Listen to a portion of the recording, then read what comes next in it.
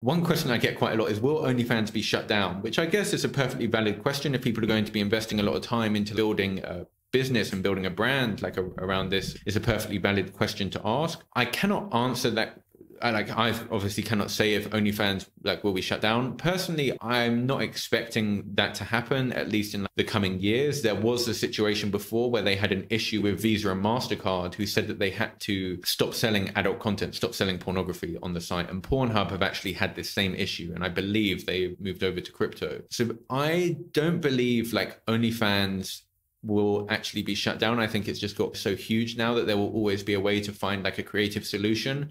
But regardless, if OnlyFans ever was shut down, this industry as a whole isn't going anywhere. The platform itself may change. If we look at social media, it started off with MySpace, ended up moving to Facebook, then Instagram, and now TikTok. Like the platform that this type of content consumption is being hosted on may change. For example, it could move from OnlyFans to Fansly. That is definitely a possibility. And it could be for like a, if anyone's dealt with OnlyFans support, they will know that they're actually pretty like useless, like really quite bad. So OnlyFans itself currently dominates the space. Like the difference is literally like Coca Cola versus some unknown cola brand in like a local supermarket. The difference is really that much. Trust me, I've tested this. We had a model that we were originally promoting on Fansly, which is like the second largest competitor to OnlyFans and she was making about $50 per day at the time. And like we were working so hard, we couldn't have her using OnlyFans because it wasn't supported in her country. So we thought we'd, we'd try out Fansly. So we were making about $50 per day. And in the end, we found a workaround to get her onto OnlyFans platform. And on the first day,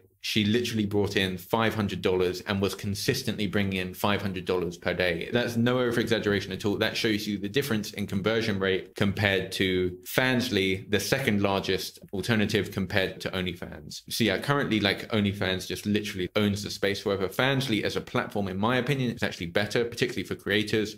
Customer support is much better. Payout options are also actually much better. And the customer support, like the overall experience is much better. The customer support is much better as well OnlyFans customer support is is diabolical. It's really, really, really quite bad. Particularly like I actually had 6K was it literally just frozen and it's just they just don't even reply and it's been like two or three months now. I've just given up trying to chase it up, but it's unacceptable if you think about it for that to happen. However, because OnlyFans is just such a strong brand, I don't even bother going over to an alternative.